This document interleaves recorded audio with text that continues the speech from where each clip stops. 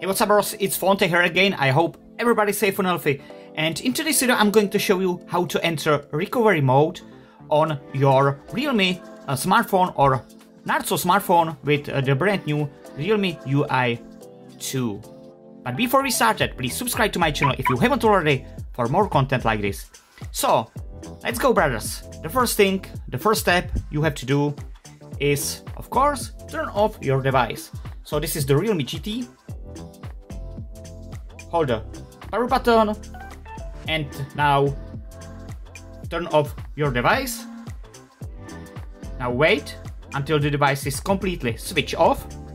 And what next brothers?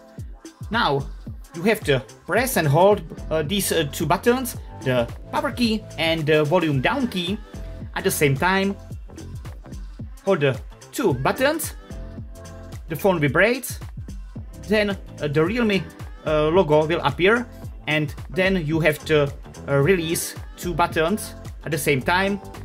I will show you. So power, power button right here, volume up down right here, hold it, hold it, it vibrates, logo, and uh, release the buttons.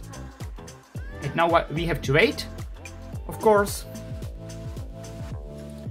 And now we are in the recovery uh, menu. You can navigate uh, uh, by the buttons or with fingers, so I choose English right here. And uh, from here we can wipe data, reboot the device, or power off the device. So now I'm gonna uh, tap on reboot. Tap on OK. And uh, the Realme GT uh, is now booting into Android operation system and uh, Realme UI 2. So I do hope you ended up enjoying the video bros. Don't forget to subscribe, like the video, share the video. And as always, stay safe, wear the mask. You are the best. Stay FoneTech bros. Peace out.